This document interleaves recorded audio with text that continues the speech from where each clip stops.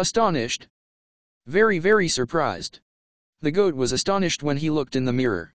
Yesterday he did not have horns.